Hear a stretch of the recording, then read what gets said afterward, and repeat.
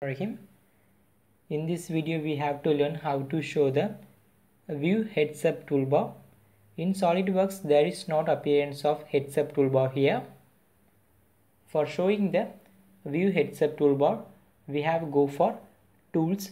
So select a tool menu. Inside the tool menu we have to select a customizations. Select a customize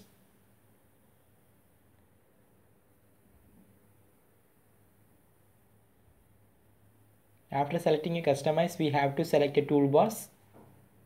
Inside the toolbar tab, we have to select a heads up toolbar.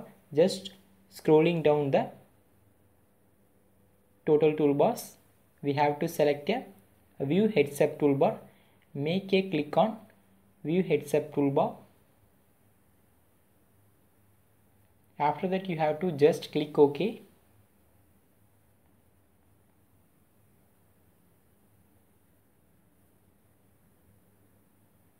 Now the view or heads up toolbar is appearance here. To get the regular updates of my video, please subscribe in my channel. Don't forget to like and share. Inshallah, we will meet in next video. Thanks for watching. If you have any doubt regarding this video, just subscribe in my channel.